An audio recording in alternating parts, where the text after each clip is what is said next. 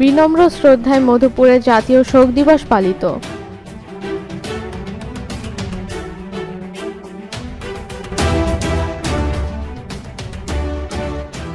দেশ news TV সারা দেশ মধুপুর টাঙ্গাল প্রতিনিধি জাহিদুল কবির জুয়েল।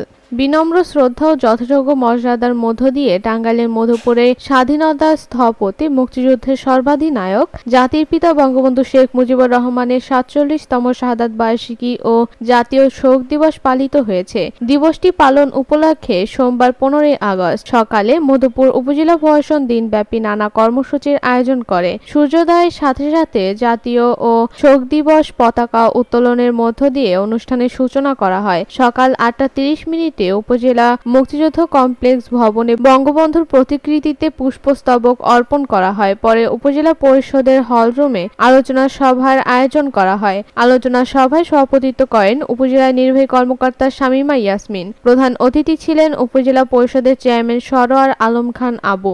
এ সময়ে উপস্থিত ছিলেন মধুপুর পৌরসভার মেয়র আলহাজ সিদ্দিক হোসেন খান। উপজেলা আওয়ামী লীগের সভাপতি খন্দকার শফিউদ্দিন মনি। সহকারী পুলিশ সুপার মধুপুর শাহিনা আক্তার, উপজেলা সহকারী কমিশনার ভূমি জাকির হোসেন, ভাইস চেয়ারম্যান শরীফ আহমেদ নাসির, মহিলা ভাইস চেয়ারম্যান জোষ্ঠিনা নরেক, উপজেলা প্রশাসনের সকল দপ্তরের কর্মকর্তাগণ, শিক্ষা প্রতিষ্ঠানের প্রধানগণ বীর মুক্তিযোদ্ধাগণ আওয়ামী লীগ সহ সকল অঙ্গ সংগঠনের নেতৃবৃন্দরা।